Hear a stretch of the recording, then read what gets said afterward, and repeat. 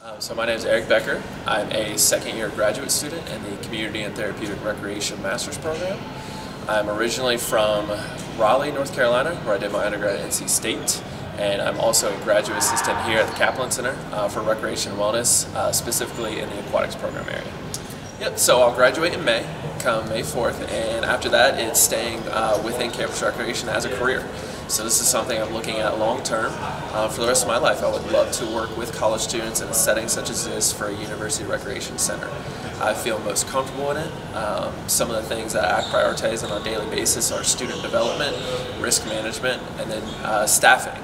And I get all three of those things here.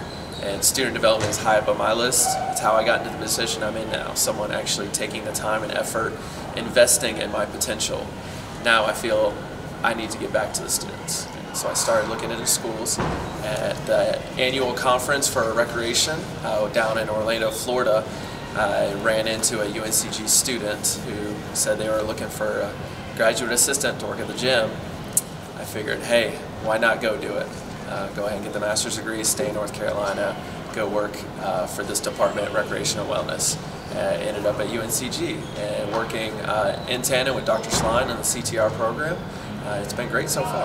Yeah, the faculty and staff here are amazing. They're absolutely amazing. Everything they do, they do for the students here, for the graduate students, for the undergraduate students. Uh, they put in a lot of time and effort into making sure that we're successful in whatever we do. I encourage you highly to attend any conference you can. So I know they do any kind of recreation conference that's in the area. They push for graduate students to go there. Um, there's more than enough money put aside and funds to help support graduate and undergraduate students to attend those conferences.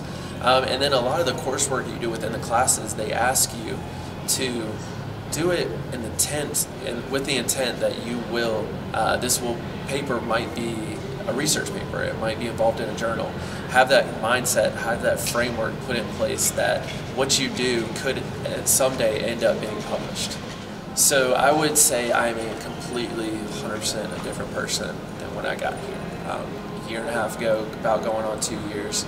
Um, this position here at Kaplan Center, as well as my uh, master's program there with the CTR department, has changed me for the better, um, professionally, personally.